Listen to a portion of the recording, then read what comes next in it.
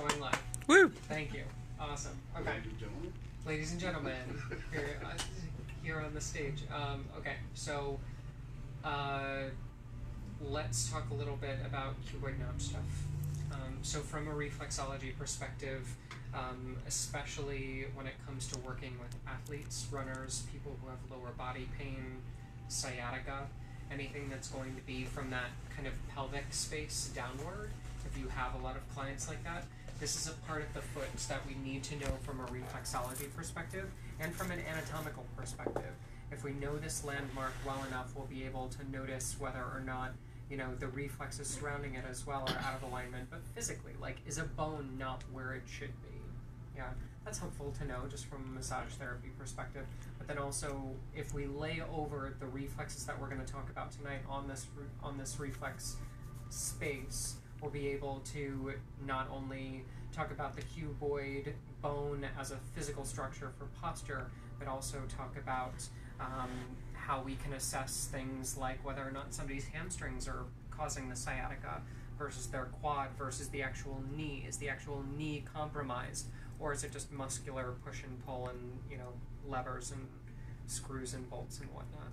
Um, that's the gift of the cuboid notch, just assessing the entire muscular structure of the leg within one small section of the foot. So it's a very quick palpatory way for us to just zone in on somebody with lower body dysfunction. Sound good? Cool. Okay, so let me introduce our helpers for this evening. So we have uh, Ligament and Metatarsal. Um, these are just if you don't have a set of feet to visually look at, it's important for you to have like if you don't if you can't look at a screen and visualize it, sometimes it's helpful to get like some of these cute little things from Amazon and just like have something that you can look and feel and, and touch. But specifically what we're looking at, we'll get to the, the bones in a second. We're looking at the lateral edge of the foot about halfway down at the proximal head of the fifth metatarsal that's where we're looking at from a physical bone perspective. So if you wanted to trace your finger halfway down the foot, you'll feel that that bone, that actual protrusion, and that's where the cuboid notch is going to start. Yeah. From an actual skeletal perspective, this is what it looks like from a lateral view. So about halfway down, we see that that literal like curve, that jutting out that occurs, and that's the proximal head of the fifth metatarsal that we're that we're feeling. Now, what's interesting about this bone is that it will be shaped differently on different clients. Some clients you won't notice it at all, yeah, and other clients will have it so protruded, yeah, and that tells us directly the state of the knee itself. And we'll talk about that a little bit more kind of when we get into the reflexes. But the bone that we're concerned with is just proximal to that. Um, yes, proximal to that. Uh, that bone, and that is the cuboid bone. So the cuboid bone is the lateral support bone for the lateral arch. Um, the arch can kind of be divided from a medial and lateral perspective into two postural channels. The first channel is where our cuboid bone links, or our, oh my gosh, I'm totally messing this up. Calcaneus, the other C bone, um, so the root of the calcaneus then connects to the cuboid, which then connects to our fourth and fifth metatarsals, and that produces our lateral arch. Yeah, the medial arch goes above, and that's the that's the lifted part of the foot, and that's where the talus connects with the navicular, which connects with the cuneiforms, which connects with the first through third metatarsals. Yeah, so we're really talking about the root component of the lateral arch here. Yeah, which for those of you who follow zone theory know that's going to be vertical zone 4 and 5 everything lower back lower body yeah so cuboid notch is right in the center of that and that tells us all about that 4-5 joint space and the state of that bone really gives us insight into whether or not this spot on the body is impinged yeah. but the cuboid bone despite being called a cube is not a cube at all. The bone is, but the actual notch itself represents a triangle.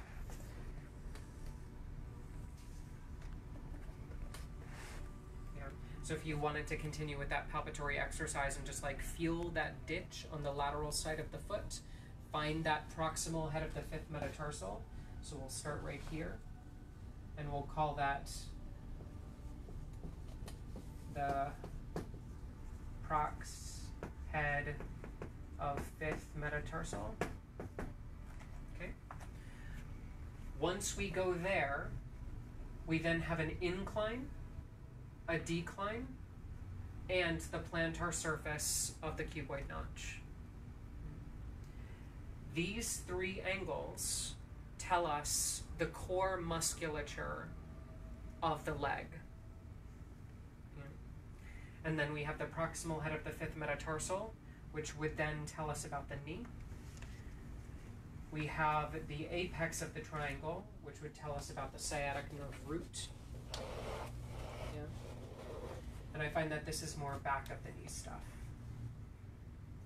Um, but we'll go over all of that in a second. So we have this bone, and this bone that's shaped like a cube then produces a triangular structure called the cuboid notch. The cuboid notch goes from the proximal head of the fifth metatarsal up to that actual cuboid bone, down, right by that calcaneal surface, and then across the bottom forms this nice squishy pad of the lateral arch.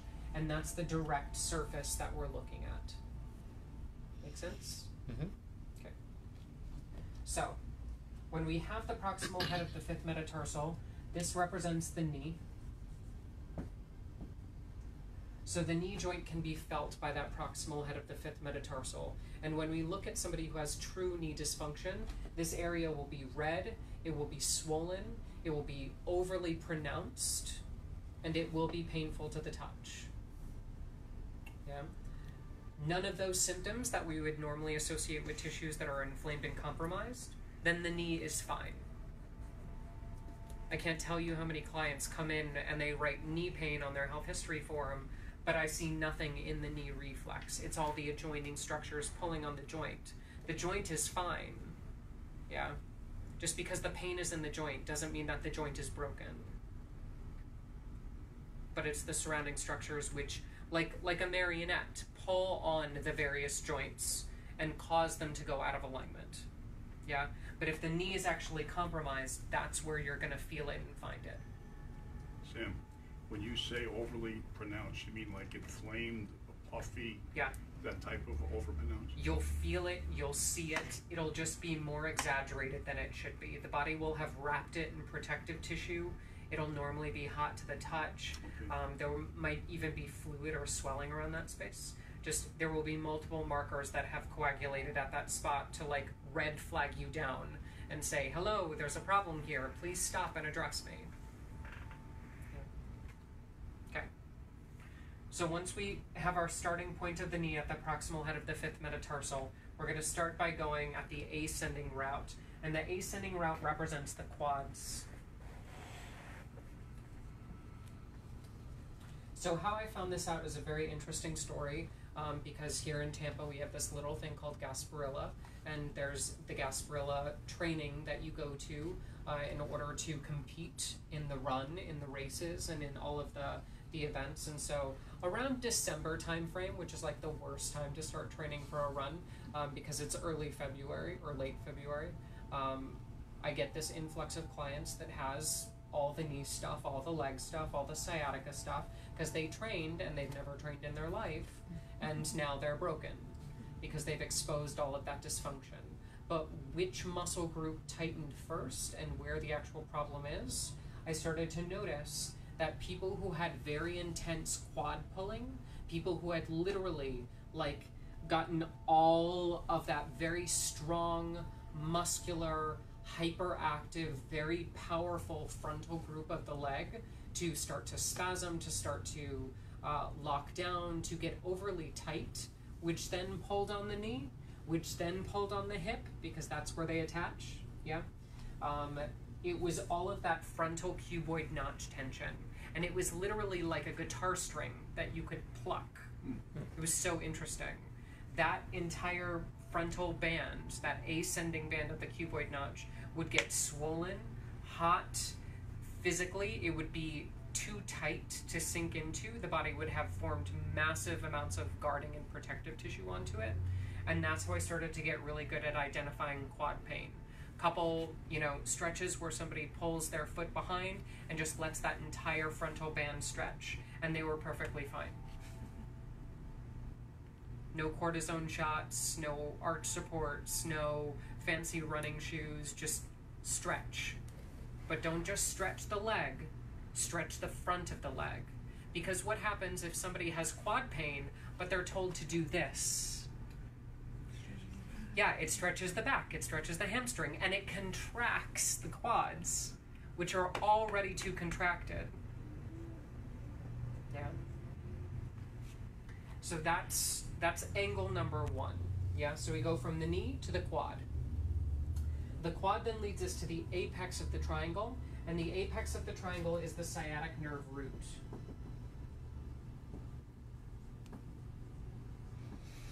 So the sciatic nerve up top, this was a really interesting one because I had several clients come in with sciatica at the same time.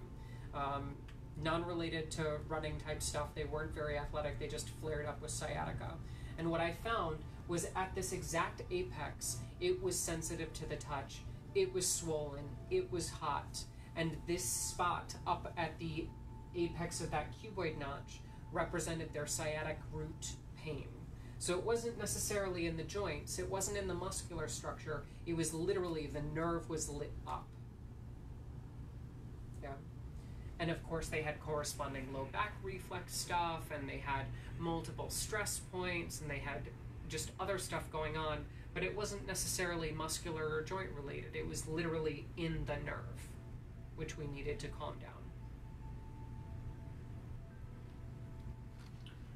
From the knee, through the quads to the sciatic nerve. It's like we're traipsing through a forest.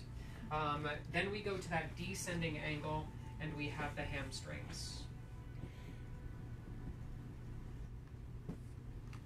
So now we're on, from that apex, we're going down the back of the cuboid notch. So we're going from the apex of the cuboid notch and descending downward towards that kind of ridge just along the calcaneus. So down the back of that triangle, we have the hamstring group. And this was the exact opposite of the quad group. Instead of having all the tension on the front load of the cuboid notch, all of the tension went to the back load of the cuboid notch. And these clients were doing really funny things. They said, Sam, no matter how much I stretch, the pain won't go away because everybody told me to do this, which contracts the hamstrings and lengthens the quads. Yeah? So if we find this band of that descending notch start to become hot, painful to the touch, plucky like a guitar string, guarded, as well as you'll even find that the muscles are so strong that they'll pull the bones closer together and they'll almost shrink or collapse that space, creating instead of like an equilateral triangle, kind of like a scalene or isosceles triangle. It's really fascinating. Not really big on geometry, but uh, when we look at hamstrings, this is where that forward fold would be appropriate. So just a little bit of a tweaking of stretching regimen would be all you would need to do to recommend for this client. Yeah. It becomes so much more intelligent of a modality when you combine foot reading and reflexology and you start to understand that this whole space is literally waiting for you to redirect the client just a smidge to the right or a smidge to the left. They're on the right track. They know that they need to do something for the lower body. But if they just Google it, we as reflexology practitioners can then give pointed advice. No, the stretches that you should be doing should focus here. No, they should be focused here. Yeah. And there's a difference between those two points. So we look for where on that triangle is the tightest. Then we go to that back point, and that back point for me represents the back of the knee. Sometimes I find this also very true with IT band. Yeah. So uh, back knee plus IT band. So we have kind of back of the knee IT band, but that more lateral, kind of out of the way knee stuff instead of the actual like joint. Once we go from that sciatic nerve through the hamstrings to the back of knee, the knee, the only connection that we have left is this plantar surface, and this plantar surface is ruled by the calves. Okay. This is a little bit of a problematic place for us to have tension. Um, calves can be a really fascinating place for somebody to hold their stress. Uh, when I see clients who have this calf line lit up, there's normally some sort of cardiovascular issue because there's swelling involved. Yeah? And the lower body has so much fluid pressure, and likewise, you'll find so much swelling along that plantar line that really, if they did any form of cardiovascular activity, it would help. Yeah. But then sometimes it's literal tension, like they've done too many calf raises at the gym. Um, they're compensating because their shoes don't fit with those postural muscles of the, the soleus and the peroneals and all that jazz, anterior tibialis and you know all that. But then also something as simple as like pressing the gas pedal. Yeah. What if you have a client that drives for work and they're driving two hours, three hours a day, and their foot is just constantly on the gas? Oh, I don't understand. I got back from Orlando from that Disney World trip, and I don't understand why I have sciatica on the right side. And all you see is that calf line lit up on the right side. It's because your foot was literally on the gas. Yeah. You stepped down, that postural strength that you needed all weekend, you didn't stretch out. And so that entire line got lit up and threw that pelvic basin out of balance. Question. A year ago or so, my nephew was diagnosed. He, he always had issues with his calves, but he Mhm. also drives a truck and does delivery for Right. like, and But the doctors told him that he had compartment syndrome. Mhm. I'm trying to remember, but they he ended up having to have surgery for it to release it. As far as I know, he doesn't have any issues anymore. But is that something that? Yeah, definitely. When we look at, and this is where clients tend to be difficult, is it's hard for us as manual therapists, period, to work with a client who wants a quick fix and doesn't want to do any of the work. Yeah. So a client like that could very easily come in to see me or any reflexologist who knows how to palpate for this and say, look, we've targeted the reflex, we know exactly where the tension is coming from. If we just do things to counterbalance that, you should be fine. Even as a regular massage therapist, feeling for these lines, noticing where the muscles are tight, and then working that specific group instead of wasting your time going front, back, side, side. But if the client is just like, uh, surgery seems like the easier option, you know, of course, compartment syndrome exists, and the only methodology is surgery because it's being looked at by a surgeon. Um, so that's kind of the, the the methodology. Somebody who wants to work on it, great. We have the ability to communicate what kind of yoga poses you should do, what kind of stretching should be done. Talk to your personal trainer about dialing it back here and increasing it here. You know, but then if the client doesn't want to, to chip in, then that's the tough part. With anything, not just with this, but when we look at these muscles being postural and being very much lifestyle related, it can be very difficult. It's easy when you know that client example comes through and they've just started training a couple weeks ago and they've broken down and we've caught them early versus the UPS driver who has been at it for five, ten years, going for that pension, you know, trying to trying to make a living out of it and they can't slow down. They can't not use those muscles. Yeah. And if they're not willing to do the compensation work and actually say just like golfers, golfers will come will come in because they've been hitting one sided the whole time and they need to literally just hit a tire from the other side. But if they don't want to spend the time to do that, then it's a lot easier to take a pill, go get surgery, cut the tendon, you know, whatever it is. Yeah. But from a cuboid notch perspective, that's how we do it. We look at the knee at front, then these three different sections of the triangle relating to the three major postural muscles of the leg, and we then are able to palpate and either use a specific modality that we're familiar with or work with stretching with a client or refer them out to a personal trainer who would be able to help them achieve that muscular balance which is throwing off their not just their gait but also their entire frame. Sound good? Yeah. okay. So let's talk about this from a mental emotional perspective. Yeah. So the cuboid notch just like all the reflexes are not just physical they are also mental emotional when we look at cuboid notch specifically cuboid notch is on the lateral side of the foot. Yeah. And it's in vertical zone 5, which is in line with the fifth toe, meaning that this whole section, this whole lateral line of the foot, corresponds to somebody's sense of security and how they're moving forward. So, pain or dysfunction in this channel has an overall arc of not just physical, like root chakra, like you know, feeling the legs, but also the idea of being uprooted. Think of that example of somebody who's training for that Gasparilla Marathon was never trained before in their life. They're using muscles that they literally have never used. Yeah. If they've doing this if they're doing this for the first time or at least if they're training like they did it last year then they haven't trained for, you know, 9 plus months. It's literally uprooting the body. But then emotionally we can talk to them about you know what else are you trying to change in your life? What else is moving too fast? What else is leaving you feeling ungrounded? If we find a lot of tension in this area. This general area is also in horizontal zone 4 yeah. So everything from that waistline guideline which is drawn by that proximal head of the fifth metatarsal to behind that lateral malleolus.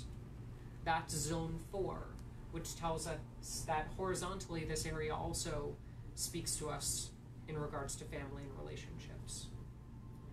So this notch is naturally going to tell us that there's family dynamics that are being changed, there's new routines, new people, yeah, that are being introduced into the social circle.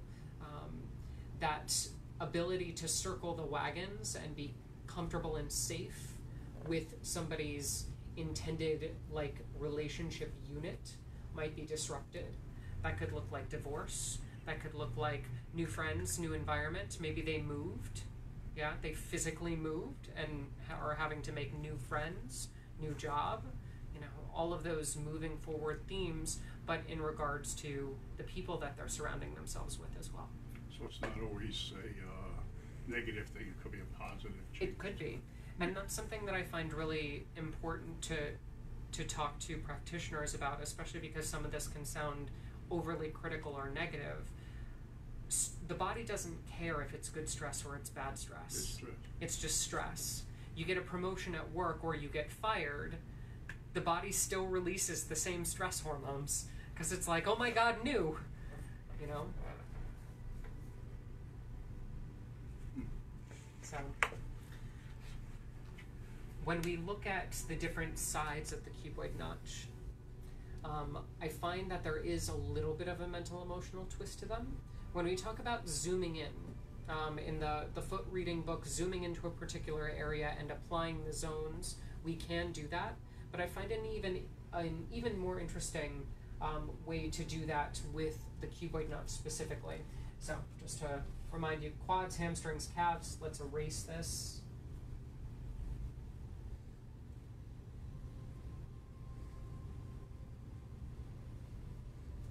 Okay. So the ascending quad portion becomes present. The descending hamstring portion becomes past. And the bottom portion represents resources.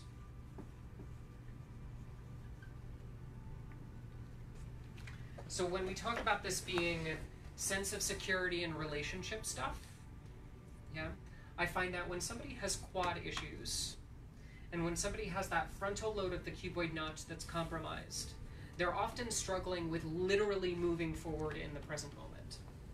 Yeah, it's something that is very acute. It's something that's literally in front of them. Yeah, Versus when we go down the back of that cuboid notch and we look at the hamstrings, it's something that's already behind them, that's literally pulling them back, that's trying to make them like either they're facing a wall or they're being held back. Yeah?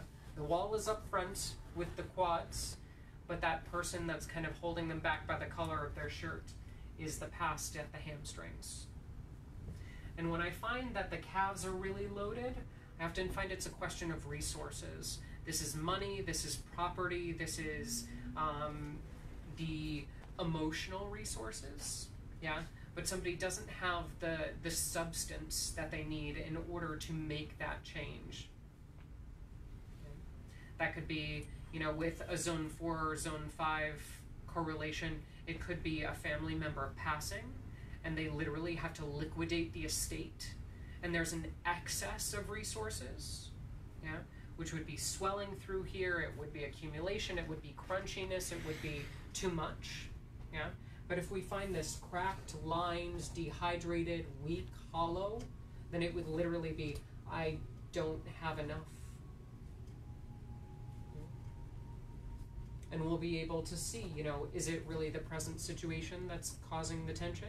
Is it something from the past that keeps nagging at them?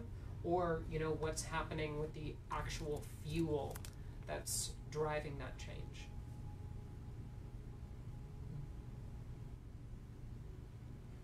Does that make sense? Yeah. So resources could also be things like stamina, stamina physical stamina mhm. energy. Yep. And then we would apply our our hot, cold, wet, dry, our earth, air, fire, water language in order to figure out kind of what's happening where. We find a lot of earthy, stagnant, hard, denseness in the reflexes. We know that there's maybe physical blockage in the resources. Yeah, we find that there's heaviness, there's a need to purge, there's an excess versus if we find that air, that hollowness, there's a lacking, there's a fatigue, there's less of. We find water, there's often emotions present, there's physical lymphatic stagnation, but then also there's hypersensitivity. It might be kind of like an internal game. Like it's not necessarily an issue that's external, but it's the fear of moving forward that's the problem. And then it could just be on fire, it could be literally inflamed and that's going to be maybe they're moving too fast in all of this situation.